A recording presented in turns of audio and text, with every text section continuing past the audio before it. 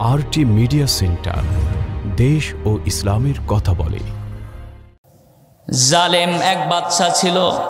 জালেম বাদশাহ আদেশ জারি করেছে, আমার সমাজে, আমার রাজ্যে কেউ এমন থাকতে পারবে না যে আমাকে আমার দেব দেবীর উপরে যে সেজদা দিবে না, মাথা পায়ে ঠেকাবে না। যদি কেউ এমন থাকে, সে আমার রাজ্যে, আমার দেশে থাকতে পারবে না। আদেশ জারি করে দিয়েছে।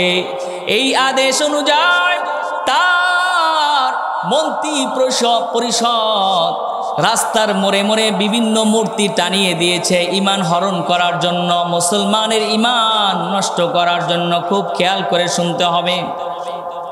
ইমানকে নষ্ট করে দেওয়ার জন্য রাস্তার মোড়ে মূর্তি টানিয়ে দেওয়া হয়েছে। আর মূর্তির পায়ের কাছে একটু মিষ্টি জাতীয় মিষ্টান্ন লাগিয়ে দেওয়া হয়েছে যাতে মশা মাছি পরে মিষ্টি খায়। আর মন্ত্রী পরিষদ এবং জল্লাদকে দাঁড় করাই দেওয়া হয়েছে, আদেশ জারি করা হয়েছে।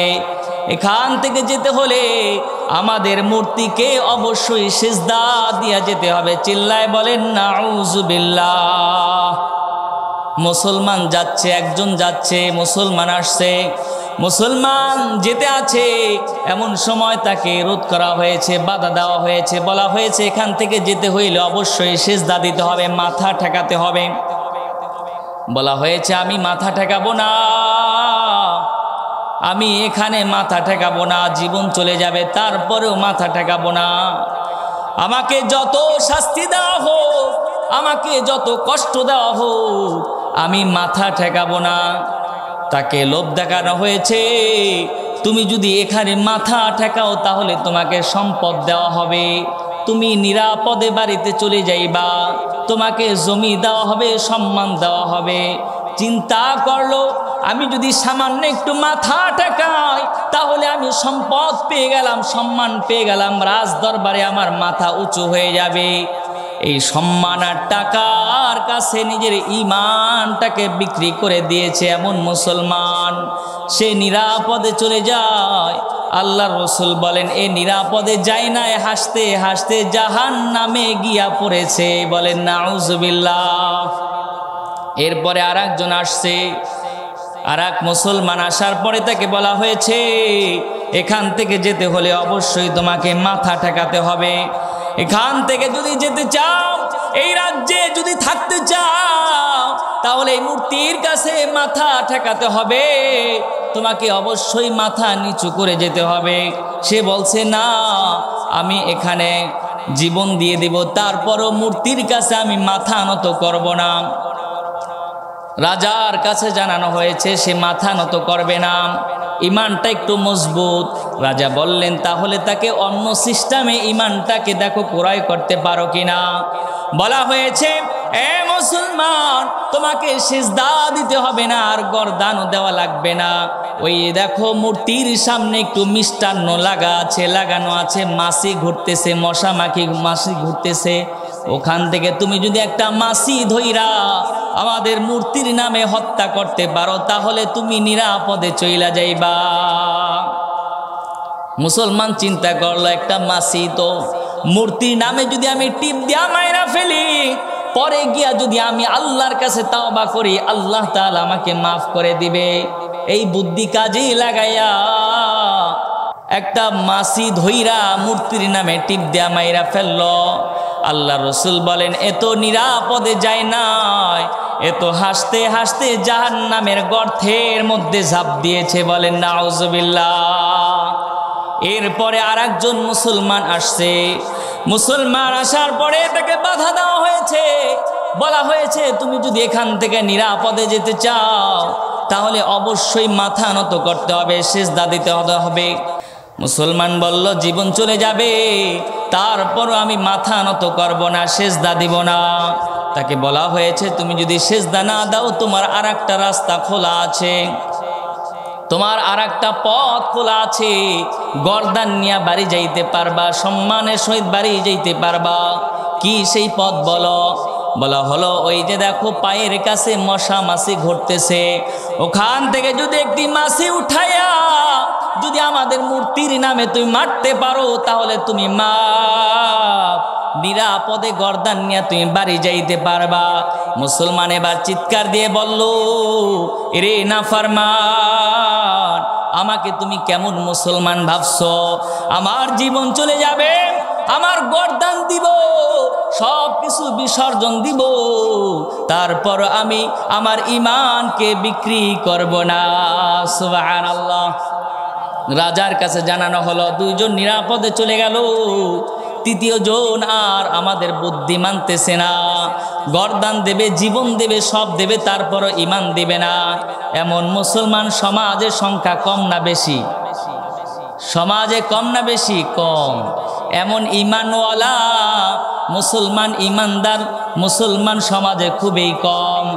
তাকে বলা হয়েছে, চিন্তা করো, দেখো এখনও তুমি নিরাপদ এই গর্দান নিয়ে বাড়ি যাইতে পারবা।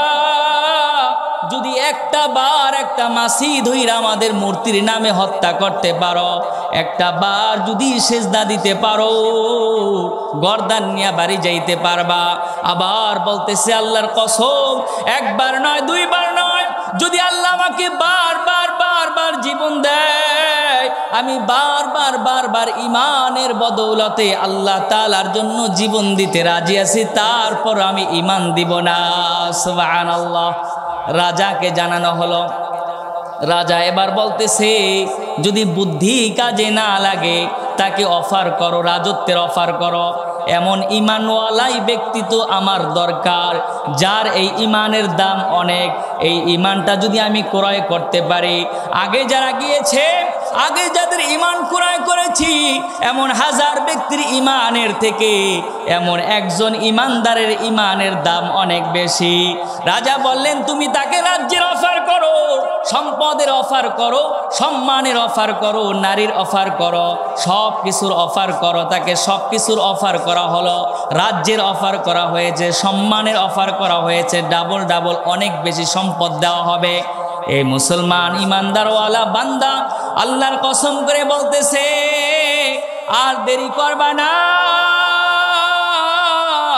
আর আমি বেশি খুন বেঁচে থাকতে চাই না। আল্লাহর জন্য আমার জীবন দিতে রাজি আছে। আমি ইমান দিব না, আমি জীবন দিয়া দিব, তাড়াতাড়ি আমার গর্দান নিয়ে যাও। বারবার তাকে অফার করা হয়েছে, বারবার তাকে অফার করা হয়েছে, এখনও সময় আছে। কিন্তু ইমানদার মজবুত, বলতেছে, জীবন চলে যাবে, তারপরও আমি ইমান বিক্রি করব না। রাজা এবার বলতেছে, যদি কোনো কাজেই, যদি কোনো বুদ্ধি কাজে না লাগে, তাহলে তাকে হত্যা করে দাও। তাকে শুলিতে চড়ানো হলো। গরদানের কাছে তরবারি ধরা হয়েছে।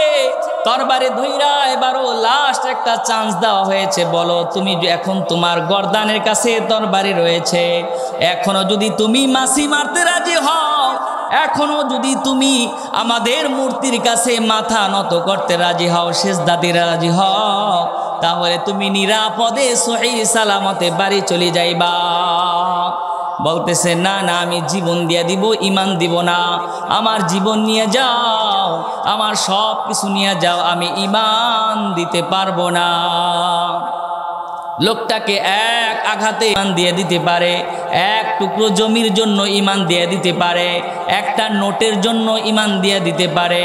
এমন সংখ্যার মানুষ সমাজের মধ্যে এখন বেশি নাকি কম? আওয়াজ দিয়ে বলেন, বেশি নাকি কম? এমন মানুষ সারাদিন নামাজ পড়বে, সারা রাত নামাজ পড়বে। তারপর আল্লাহ তালার কাছে বিন্দু পরিমাণ সওয়াব সে পাবে না। কেননা তার ইমানটাই তো নাই, তার ইমানটাই তো বরবাদ হয়ে গেছে। অথচ লোকমান আলাইহি সালাম নিজের সন্তানকে বলতেছেন, লা আযীম। বৎস, ওহে আমার সন্তান, আদরের সন্তান আল্লাহ তাআলার সাথে কাউকে শরিক করবা না। ইন্না শিরকালা যুলমুন আযীম। কেননা শিরেক হলো আল্লাহ তালার সাথে জুলুম করা সবচেয়ে বড় গুনাহ, অপরাধ। অথচ আমরা বেশি পরিমাণে শিরেক করি। আওয়াজের পরে, ওয়াজ শোনার পরে, এই তাফসির শোনার পরে অনেকে মনে করতে পারেন, অনেকের মধ্যে মনে আসতে পারে, আমি তো গুণা করেছি, অপরাধ করেছি, এখন কি আমার গুণা মাফ হবে না? আল্লাহ তালা বলেন তুমি গুণা করেছ, পাপ করেছ, আমার তওবার দরজা এখনও খোলা আছে। লা রহমাতিল্লাহ। আল্লাহ তাআলা বলেন, তুমি গুনাহ করার পরে যদি আমার দিকে ফিরে আসো, আমার রহমত থেকে নিরাশ না হয়ে আমার দিকে ফিরে আসে তওবা করো। আমি আল্লাহ তালা তোমার জিন্দিগির সব গুনাহগুলি মাফ করে দিব। খাস দিলে তওবা করতে হবে। খাস দিলে তওবা করলে আল্লাহ তাআলা সব গুনাহ মাফ করে দিবে। এজন্য চারটা নিয়মে আমাদেরকে তাওবা করতে হবে। তাওবার শর্ত হলো চারটা। এক নাম্বার, অশর্ত হলো আমি যে গুনাহ করেছি, এজন্য আমি অপরাধী, নিজেকে অপরাধী ভাবতে হবে। দুই নাম্বার শর্ত হলো আমি যেই গুনাহটা করতেছি, গুনাহটা এখনই ছেড়ে দিতে হবে। তিন নাম্বার শর্ত হলো আমি যেই গুনাহটা করলাম, ছেড়ে দিলাম, এই গুনাহটা আর জীবনে আমি করব না। চার নাম্বার শর্ত হলো, আমার পাপের মধ্যে, অন্যায়ের মধ্যে যদি কোনো মানুষের হক থেকে থাকে, ওই হক বুঝিয়ে দিয়ে তার কাছ থেকে মাপ চেয়ে নিতে হবে। যদি আমি তার কাছ থেকে মাপ চেয়ে নিয়ে আল্লাহর কাছে তাওবা করি, আল্লাহ তার আমার জিন্দিগির সব গুণাগুলি মাফ করে দিবে।